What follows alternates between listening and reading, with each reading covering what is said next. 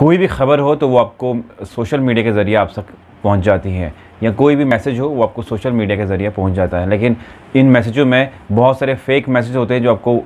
Facebook WhatsApp या Instagram Twitter के through पहुँचते हैं। ज़्यादातर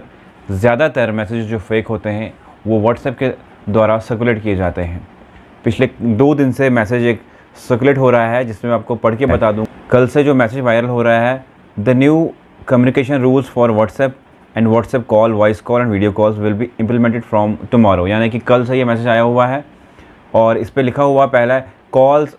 will be recorded all calls recording will be saved WhatsApp Facebook Twitter Instagram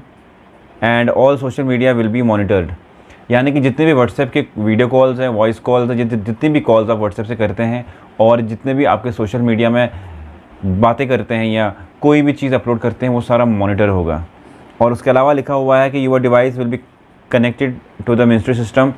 take care not to send wrong message to any और इस तरह की मैसेजेस जो है कल से वायरल हो रही हैं और ये बताया जा रहा है कि व्हाट्सएप और सोशल मीडिया जितने भी हैं, वो सरकार मॉनिटर करेगा और आपके जितने भी डिवाइस हैं, वो मिनिस्ट्री के साथ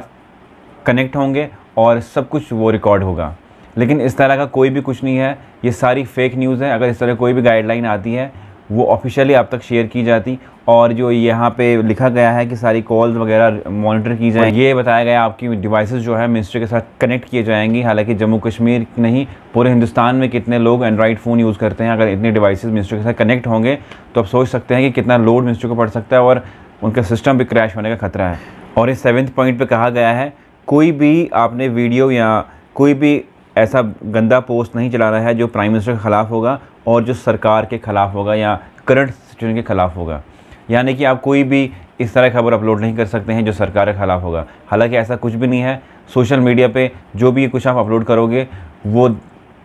पढ़ के, सुन के और सबूत के साथ अगर आपको कोई भी आपके पास खबर होती है या कोई भी सरकार के ख़िलाफ़ आपके पास कोई चीज़ होती है, आप उससे अपलोड कर सकते हो। हम हम डेमोक्रेटिक कंट्री में रहते हैं ये जितना भी मैसेजेस हैं सारा जो हो रहा है सर्कुलेट हो रहा है पूरे व्हाट्सएप पे ये सारा फेक है मैं आपको बता दूँ उससे पहले। और आठवां point it is currently a crime to write or send a bad message on any political or religious issue doing a, doing so can lead to arrest without